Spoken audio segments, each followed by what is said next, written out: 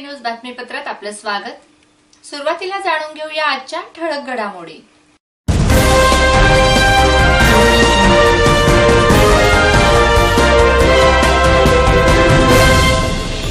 वनदिनीचं वनक्षेत्रात पेटला आगीचा वनवा लांबकाणी येथील घटना.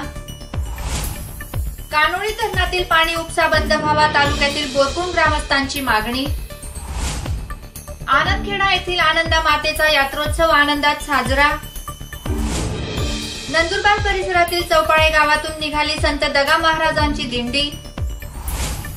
नोटा व नाणी न स्वीकारणाऱ्यांवर कायदेशीर कार्यवाही होण्याची मागणी. प्रलंबित मागण्यांसाठी भारिप बहुजन महासंघाच्या वतीने सव्वीस मार्च रोजी मुंबईत आंदोलन. तालुक्यातील देवभाणे गावातील सप्तशृंगी मातेचा यात्रोत्सव उत्साहात साजरा. वृक्ष लागवडीचं महत्त्व पटवून देण्यासाठी धुळ्यात बैठक. आणि उपजिल्हा रुग्णालय दोंडायचा येथे सिझेरियन प्रसूती शस्त्रक्रिया पूर्ववत सुरू.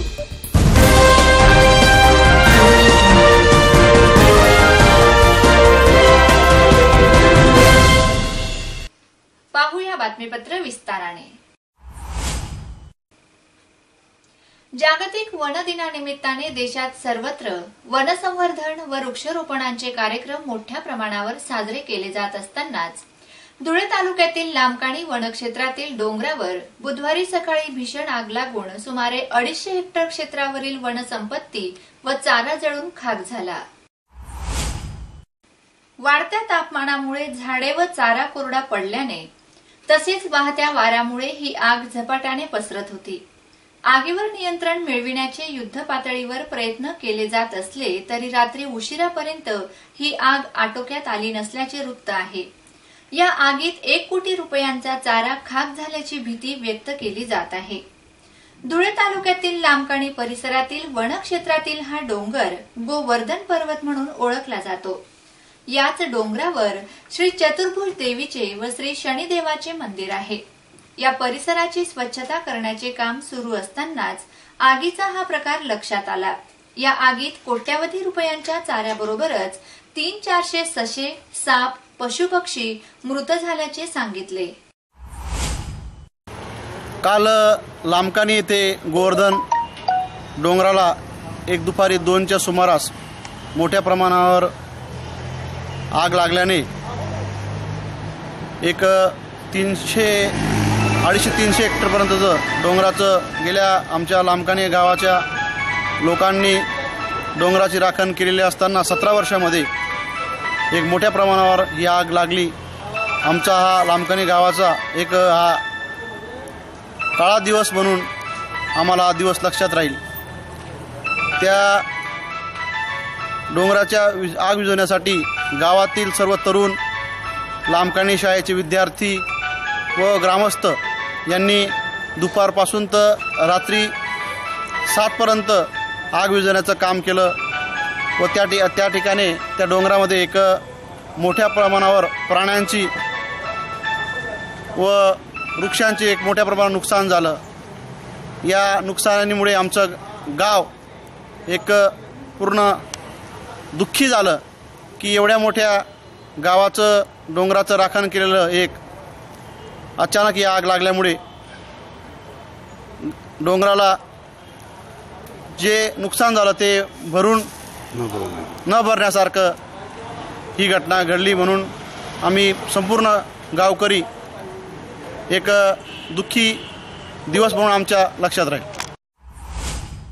कानोळी नदीवर बांधलेल्या धरणातून धरणालगतच्या गावातील सुमारे शंभर ते सव्वाशे शेतकरी विद्युत पंपाद्वारे अवैधरित्या पाणी उपसा करीत असल्याने धरणातील पाणीसाठा झपाट्याने कमी होत असून भविष्यात तरवाडे व बोरकुंड परिसरातील बारा गावांना होणाऱ्या पाणी पुरवठ्यावर त्याचे दुष्परिणाम होऊन त्याची झळ सुमारे पस्तीस ते चाळीस हजार लोकांना बसण्याची शक्यता असल्याने संबंधित शेतकऱ्यांना कायदेशीर तंबी देऊन पाणी उपसा थांबवावा अशी मागणी बोरकुंडचे सरपंच बापूसाहेब भदाणे शिरूरचे सरपंच विजय पाटील मांडरचे सरपंच नैना पाटील विंचूरचे सरपंच भाऊसाहेब देसले होरपाडे गावाचे सरपंच रवींद्र कढाळे रतनपुराचे सरपंच पूनम चौधरी आदींनी धुळे जिल्हाधिकाऱ्यांना दिलेल्या निवेदनात केली आहे.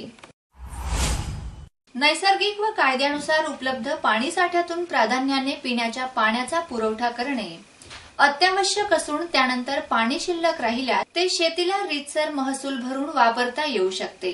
तथापि कानोळी धरणालगतच्या गावातील शंभर ते सव्वाशे शेतकरी अनधिकृतपणे पाण्याची चोरी करीत असल्याने या प्रकारात शासनाचा महसूल तर बुडवला जातोच. शिवाय या गावात पिण्याचे पाणी पुरवठा बंद झाल्यास गावातील नागरिकांना स्थलांतराची दुर्दैवी वेळ येण्याची शक्यता असल्याने संबंधित अधिकाऱ्यांनी याबाबत तातडीने कार्यवाही करावी अशी मागणी केली जात आहे. बाळासाहेब बदाने सरपंच ग्रामपंचायत आज आम्ही आमच्या परिसरातील सगळे सरपंच पदाधिकारी आणि ग्रामस्थ ज्येष्ठ ग्रामस्थ यांना घेऊन कलेक्टर साहेबांना निवेदन देण्यासाठी आलो आहोत. कानोळी धरणातून आमच्या तरवाडे सहा गावं आणि बोरकुंड पाच गावं अशा दोन प्रादेशिक योजना कार्यान्वित आहेत. याचा पूर्ण पाणीपुरवठा सध्या आमचं कानोळी धरणावर अवलंबून आहे. परंतु या धरणातून त्या धरण परिसरातल्या मालेगाव तालुक्यातल्या बऱ्याच आजूबाजूच्या लगतच्या शेतकऱ्यांच्या साधारणतः शंभर सव्वाशे मोटारी सतत पाणी उपसा करत असतात. आणि त्याच्यामुळे पाण्याची पातळी झपाट्याने खाली चालली आहे. जर असं चालत राहिलं तर पुढच्या महिन्याभरानंतर कदाचित आम्हाला या दोघं पाणी पुरवठा योजना बंद व्हाव्या लागतील किंवा कराव्या लागतील अशी वेळ येऊ शकते. आणि जर असं नाही झालं तर त्या गावात किंबहुना टँकरने पाणी पुरवठा करायचं जरी ठरवलं प्रशासनाने तरी त्यांना पाणी उपलब्ध कुठे होऊ शकत नाही. आम्ही कलेक्टरांना निवेदनाद्वारे ही विनंती केली आहे की जर का आपण हे याच्यावर प्रकारे गंभीर दखल घेऊन आणि मोटारी त्वरित हटवल्या तर आमचं पाणी पुरवठा सुरू होऊ शकतो. आणि तसं न झाल्यास भविष्यात तीव्र आंदोलन. शेत आपल्या ग्रामस्थांमार्फत आणि सगळ्या पदांमार्फत तीव्र आंदोलन छेडण्याचा इशारा देखील देण्यात आला आहे. या संदर्भात आम्ही याच्यापूर्वी पालकमंत्र्यांना देखील भेटून त्यांना हे अवगत केलेलं आहे. यानंतर या निवेदनाची प्रत आम्ही कार्यकारी अभियंता सिंचन विभाग यांना देऊन गव्हर शासनाच्या ई फोटो देखील अपलोड करीत आहोत जेणेकरून याचा हा मार्ग त्वरित निकाल निघेल अशी अपेक्षा आहे. तालुक्यातील आनंदखेडा या गावाच्या ग्रामदेवता आदिशक्ती आनंदामाता देवीच्या यात्रोत्सवाची सुरुवात महाआरतीने करण्यात आली. या यात्रेच्या आयोजनाची सुरुवात गुढीपाडव्यापासून सुरू केली जाते. चैत्र शुद्ध पंचमीपासून यात्रोत्सवास सुरुवात होते. या दिवशी रात्री महाप्रसादाच्या कार्यक्रमाचे आयोजन करण्यात येते. या निमित्ताने सारे गावकरी एकत्रित येतात. त्यांना क्युटी डाळीचे वरण व गव्हाच्या पोळीचे जेवण देण्यात येते. तत्पूर्वी सकाळी मंदिरावर लावायच्या ध्वजाची सवाद्य मिरवणूक काढण्यात आली. यात्रेच्या पार्श्वभूमीवर दुपारी गावातील शनी मंदिर परिसरात तगतरावाची बोली होऊन रात्री लोकनाट्य तमाशाचे आयोजन केले जाते अशी माहिती सरपंच माळी यांनी प्रसार माध्यमांशी बोलताना दिली. यावेळी गावातील ग्रामस्थ मोठ्या संख्येने उपस्थित होते. ग्रामदेवता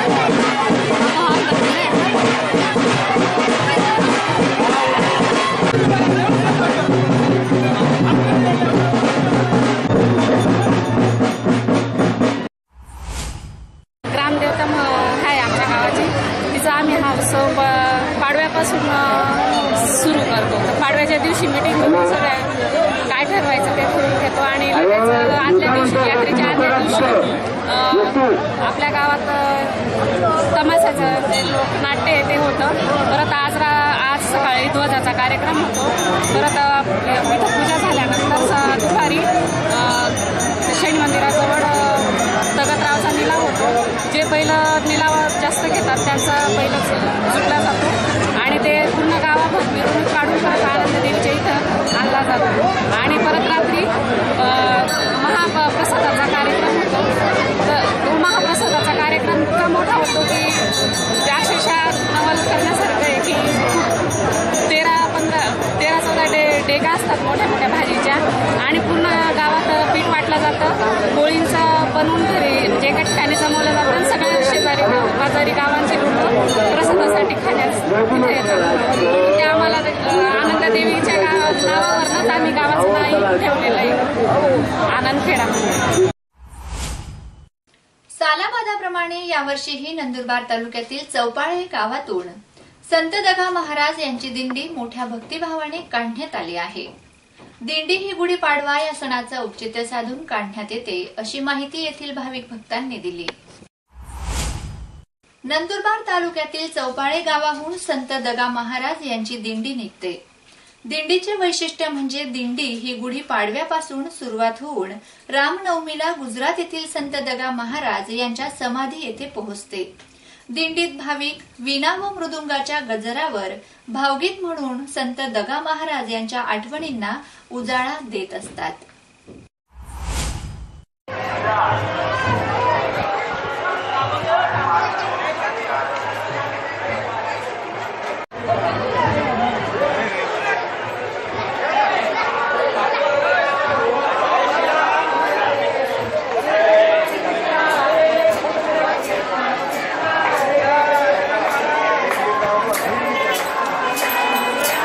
सारी कर दीजिए आप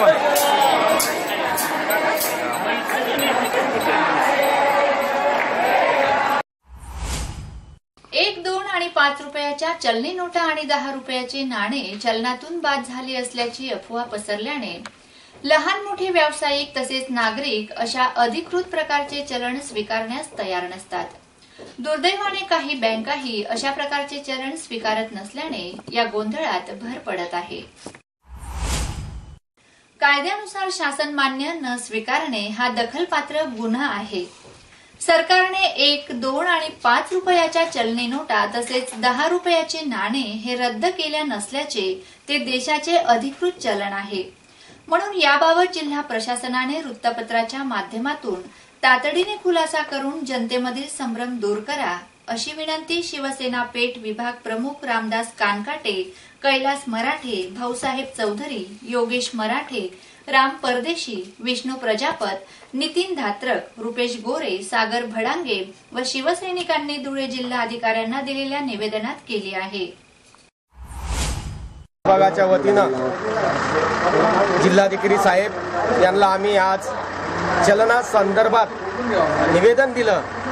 की शहरामध्ये एक रुपयाचं चलन दोन रुपयाचं चलन पाच रुपयाचं चलन आणि दहा रुपयाची नाणी आणि ही जी चिल्लर आहे हे छोटे छोटे व्यावसायिक घ्यायला तयार नाही.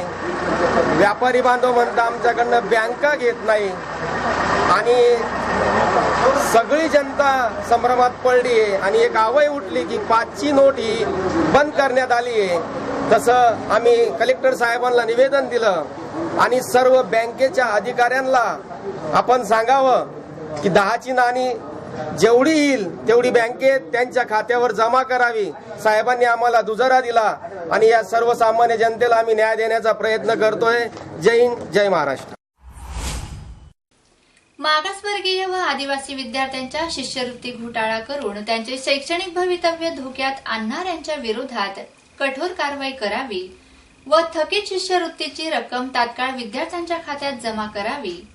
भीमा कोरेगाव येथे नुकत्याच झालेल्या दंगलीतील मुख्य संशयित आरोपी मनोहर भिडे याला तातडीने अटक करावी. तसेच शिक्षणाचे खासगीकरण थांबवून सर्व समान शिक्षण द्यावे. या मागणीकडे सरकारचे लक्ष वेधण्यासाठी भारिप बहुजन महासंघाच्या वतीने मुंबईतील जिजामाता उद्यानापासून ते विधान भवनापर्यंत भव्य मोर्चा काढण्यात येणार असून या मोर्चाचे नेतृत्व पक्षाचे नेते बाळासाहेब प्रकाश आंबेडकर हे करणार आहेत. या मोर्चात धुळे जिल्ह्यातील दलित बांधवांनीही मोठ्या प्रमाणावर सहभागी व्हावेत.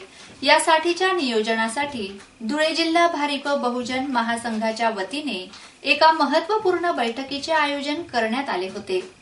या बैठकीत पक्षाचे जिल्हाध्यक्ष भैयासाहेब पारेराव भारतीय बौद्ध महासभेचे जिल्हाध्यक्ष महेंद्र महाले समता सैनिक दलाचे देविदास जगताप ज्येष्ठ नेते एस यू तायडे संतोष पारेराव सम्यक विद्यार्थी आंदोलनाचे योगेश जगताप आदी पदाधिकाऱ्यांसह दलित बांधव मोठ्या संख्येने उपस्थित होते. धुळे जिल्हा अन्याय अत्याचार निवारण संघटना जाती उच्चाटन सभा राष्ट्रीय दलित पॅन्थर व भीम आर्मी संघटना या संघटनांनीही या मागण्यांना समर्थन दिले आहे. जनतेला ज्या ज्या महामानवांनी उत्थान करण्यासाठी आपलं योगदान दिलं अशा सगळ्या महात्म्यांना. त्रिवार अभिवादन अभिवादन करून या व्यासपीठावर असलेले देवळेजी पूर्वाश्रमीचा अजेंडा पारंपरिक अजेंडा हे राबवण्यासाठी आजचं जे सरकार आहे या सरकारने छुपे अजेंडे सुरू केलेले आहेत. या युतीमध्ये मशिदीसह मशिदीसह भगवा रंग देण्यात येत आहे. हे सगळ्यात सगळ्यात म्हणजे कोणतं देवतं काय म्हणावं आणि काय समजावं गाय पाळणाऱ्या मुसलमानाला जिवंत मारून टाकतात. दोनशे गायी एकाच वेळेला ज्या म्हणजे मरण पावतात त्या लोकांना हे काय काय हे करतात म्हणजे संरक्षण देतात. हा जो सगळा प्रकार आहे फक्त दोनशे तरुण मुख्यमंत्री कबूल करतो दोनशे तरुणांनी भीमा गोरेगावचा लाखो अनुयायांना थैरावैराग केलं. आमच्या बाया मुलांवरती म्हाताऱ्यांवरती कुठे जाऊन जीव कुठे लपू या परिस्थितीत निर्माण भयावह परिस्थिती निर्माण करणाऱ्या एक मोठे भयावह परिस्थिती निर्माण करणारा संभाजी भिडे यांनी पद्धतशीरपणे कट रचून त्या अकरा गावांमध्ये प्रत्येक गावात मिटिंग घेऊन प्रत्येक गावात मिटिंगा घेऊन संभाजीराजांचे तुकडे उचलले नाहीत चिवले नाहीत. हा अपप्रचार करून कोणी गायकवाडांनी. आणि तुकडे करणारे कोण उचलणारे आणि चिवणारे आम्ही मध्ये म- हे पूर्णपणे त्यांची समाधी बांधणारे आम्ही या सगळ्या गोष्टीचा किती सालापासून चालू असलेला उत्साह हा बंद कसा पडेल याला गालबोट कसं लागेल? आणि पेशवाईचा इतिहास हा खोटा इतिहास असलेला इतिहास हा खरा कसा राबवण्यात येईल या दृष्टीने या सरकारचे पावलं जबरदस्त वेगळ्या वाटेने चालत आहे. धुळे तालुक्यातील देवभाणे येथील ग्रामस्थांची आराध्य दैवत सप्तशृंगी मातेचा यात्रोत्सव आज मोठ्या भक्तिभावाने व आनंदोत्सवाने साजरा करण्यात आला. सप्तशृंगी माता ही नवसाला पावणारी असल्याने गावाबरोबर परिसरातील भाविक दर्शन घेऊन आपल्या मनातील मनोकामना पूर्ण करतात. यात्रेचे विशेष महत्त्व म्हणजे या दिवशी दोन तगतरावांची सवाद्य मिरवणूक काढली गेली. यात्रेनिमित्त गावात संसारपयोगी वस्तूंबरोबर खाद्यपदार्थांच्या हॉटेली व चिमुकल्यांसाठी खेळणी आणि पाण्याची दुकाने मोठ्या प्रमाणात थाटली होती. समृद्ध महाराष्ट्राचे तसेच पर्यावरणास पूरक म्हणून राज्यात सुमारे पन्नास कोटी वृक्षांची लागवड व संवर्धन करण्याचा निश्चय राज्याचे वनमंत्री नामदार सुधीर मुनगुंटीवार यांनी व्यक्त केला असून प्रत्येक नागरिकाने किमान एक झाड लावून त्याचे संवर्धन करावे असे आवाहन त्यांनी केले होते. या पार्श्वभूमीवर त्यांनी प्रत्येक जिल्ह्यास वृक्ष लागवडीसाठी उद्दिष्ट घालून दिले आहे. महाराष्ट्र शासनाने दिलेले उद्दिष्ट पूर्ण व्हावे यासाठी धुळे वन विभागाच्या वतीने हॉटेल मानस या ठिकाणी सरपंच ग्रामसेवक वन कर्मचारी यांची महत्त्वपूर्ण बैठक बोलावली होती. या बैठकीत दोन हजार दोनच्या वन कायद्यासंदर्भात उपवन संरक्षक जी के अनारसे प्राचार्य डॉक्टर एम व्ही पाटील ज्येष्ठ सामाजिक कार्यकर्ते व वृक्षमित्र वसंतराव ठाकरे महाराष्ट्र जैविक विविधता मंडळ पुणे या संस्थेचे doctor Rahul Mungikar V G Dabale doctor Shyam Wadekar या मान्यवरांची अभ्यासपूर्ण भाषणे झालीत. या साऱ्या वक्त्यांनी मानवाने स्वार्थासाठी वनक्षेत्रातील झाडे औषधी वनस्पती यांची कत्तल करून वनक्षेत्रात केलेले अतिक्रमण यामुळे वन्यजीवांचे अस्तित्व धोक्यात आले आहे. पूर्वी वनक्षेत्रात असलेल्या जमिनीवरील विशिष्ट प्रकारच्या औषधी वनस्पती दुभत्या जनावरांच्या खाण्यात आल्यामुळे त्यांच्यापासून मिळणारे दूध सकस व जास्त फॅटचे होते. वृक्ष लागवड करताना त्यापासून उत्पन्न मिळेल अशा प्रकारे वृक्षांची लागवड करावी. असे उदाहरण देताना एका वक्त्याने आदिवासी बांधव करत असलेल्या महू फुलाच्या उत्पन्नाची माहिती दिली. या कार्यक्रमास ग्रामसेवक व सरपंच मोठ्या संख्येने उपस्थित होते. ठिकाणी जे परिषद झाली आणि त्याची फलनिष्पत्ती म्हणून हे हा दोन हजार दोनचा कायदा अस्तित्वात आला जैवविविधता अधिनियम दोन हजार दोन. तर दोन हजार दोन ते आतापर्यंत दोन हजार अठरा म्हणजे जवळपास सोळा वर्षाच्या कालावधीत हा कायदा आताशी कुठे पाळण्याच्या बाहेर येऊन रांगायला लागलाय असं एक म्हटलं तर वापर ठरणार नाही.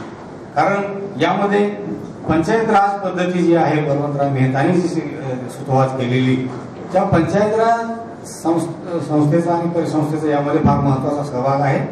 त्यामध्ये जिल्हास्तर असेल तालुकास्तर असेल आणि ग्रामपंचायत स्तर असेल. यामध्ये आता आजही आपण या ठिकाणी बरेचसे पा- सहभागी पार्टिसिपंट जे बोलवलेले आहेत ते गाव पातळीवरील आहेत. त्या ठिकाणी त्यांचे जैवविविधता समितीचे अध्यक्ष आहेत सचिव आहेत आणि त्यांचं एक गाव पातळीवरील जी नोंदवही आहे त्यामध्ये त्या ठिकाणचा जो जैवविविधतेचा साठा आहे त्याचं एक्सप्लॉयटेशन होणार नाही. त्याचं त्या जी सहन करण्याची शक्ती आहे त्यापेक्षा जास्ती त्याचं त्या जैविकतेच्या साठेचं ते- त्या ठिकाणावरून ती नाहीशी केली जाणार नाही. आणि ती चिरकाल टिकणाऱ्या एका इकोसिस्टममध्ये ते रूपांतरित होऊन त्याचा फायदाही स्थानिकांना होत राहील. ह्या जो विचार आहे याबाबत आपल्याला खऱ्या अर्थाने म्हणजे काय करायला पाहिजे? याबाबत आपल्या संकल्पना बऱ्यापैकी स्पष्ट आहेत. पण कसं करायला पाहिजे? ही जी प्रक्रिया आहे याबाबतचे जे दोन तीन सेशन आता यानंतर असतील त्यासाठी मी आपल्या सर्वांना आवाहन करतो की त्यामध्ये आपण अगदी लक्षपूर्वक सहभागी व्हावं. आणि हा जो हाऊ पार्ट आहे आपली आपली भूमिका काय आहे आपली जबाबदारी काय आहे त्या कायदेशीर तरतुदी काय आहेत या ह्या सर्व बाबींमध्ये आपण सहभागी होऊन ते आत्मसात करून घ्यावं. काही शंका असतील तर निरसन करून घ्यावं. आणि ही एक सुरुवात आहे. आजची कार्यशाळा संपली. म्हणजे हा यामध्ये पुन्हा आपला संवाद राहणार नाही वगैरे असा भाग नाहीये. या कार्य यापासून पुढे असा दृढ होत राहील.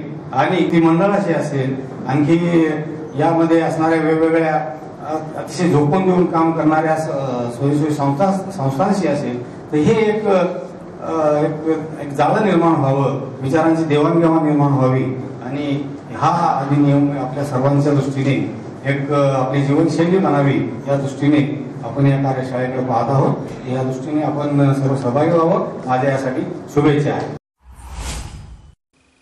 उपजिल्हा रुग्णालय दोंडायचा येथे सन दोन हजार पाच पासून सिझेरियन प्रसूती शस्त्रक्रिया बंद झाल्या होत्या. त्या शस्त्रक्रिया उपसंचालक नाशिक व जिल्हा शल्य चिकित्सक ललित कुमार चंद्रे यांनी आजपासून पूर्ववत सुरू केल्या. त्यासाठी त्यांनी स्त्रीरोग तज्ज्ञ व भूलतज्ञ यांची नेमणूक करून मागील तेरा वर्षापासून बंद पडलेल्या शस्त्रक्रिया पुन्हा पूर्ववत सुरू केल्या.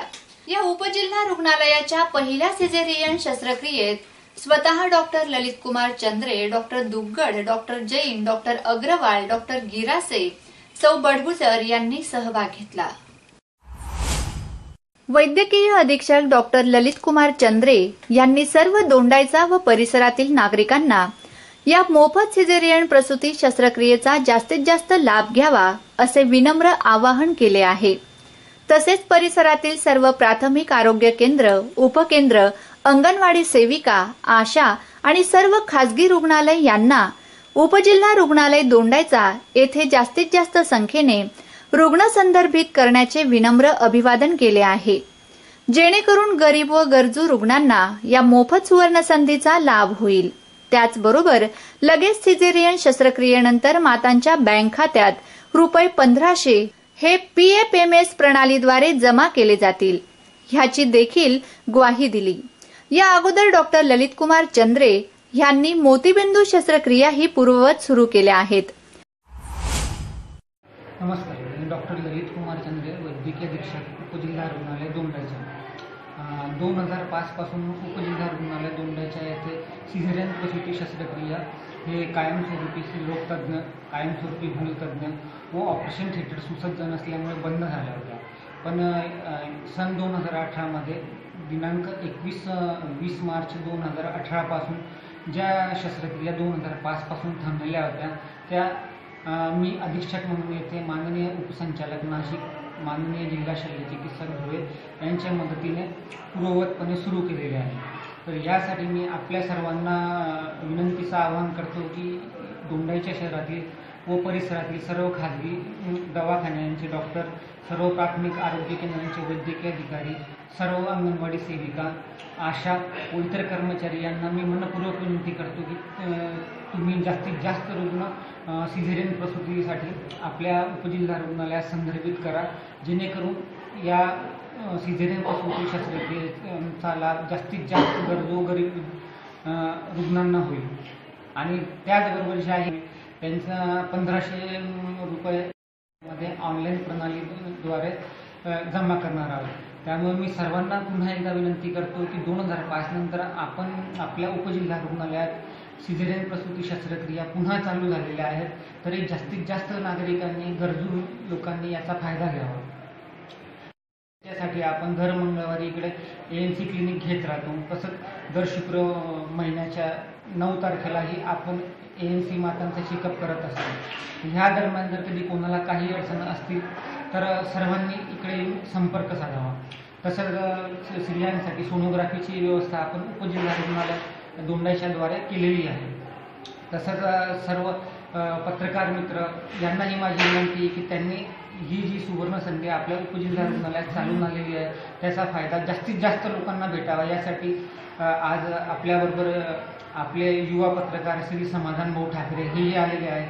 तर मी सर्व पत्रकार बांधवांनाही विनंती करतो की ह्या शस्त्रक्रिया प्रसूती सिजेरियन प्रसूती शस्त्रक्रिया दोन हजार पाचपासून आपल्याकडे सुरू झालेल्या आहेत. तर त्याबद्दल जास्तीत जास्त लोकांना माहिती पोचवावी व आपला हा हा सरकारी उपक्रम यशस्वी करावा. जेणेकरून आपल्याला ही ही मदत जास्तीत जास्त गरजू मातांना पोचवता येईल. शेवटी पुन्हा एक नजर आजच्या ठळक घडामोडींवर. वनदिनीचा वनक्षेत्रात पेटला आगीचा वनवा लांबकाणी येथील घटना. कानोळी धरणातील पाणी उपसा बंद व्हावा तालुक्यातील बोरकुंड ग्रामस्थांची मागणी. आनंदखेडा येथील आनंदा मातेचा यात्रोत्सव आनंदात साजरा. नंदुरबार परिसरातील चौपाळे गावातून निघाली संत दगा महाराजांची दिंडी. नोटा व नाणी न स्वीकारणाऱ्यांवर कायदेशीर कार्यवाही होण्याची मागणी. प्रलंबित मागण्यांसाठी भारिप बहुजन महासंघाच्या वतीने सव्वीस मार्च रोजी मुंबईत आंदोलन. तालुक्यातील देवभाणे गावातील सप्तशृंगी मातेचा यात्रोत्सव उत्साहात साजरा. वृक्ष लागवडीचं महत्त्व पटवून देण्यासाठी धुळ्यात बैठक. आणि उपजिल्हा रुग्णालय दोंडायचा येथे सिझेरियन प्रसूती शस्त्रक्रिया पूर्ववत सुरू.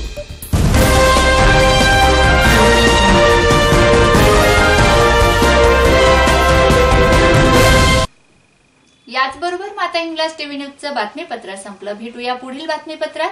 तोपर्यंत नमस्कार. जय हिंगलाज.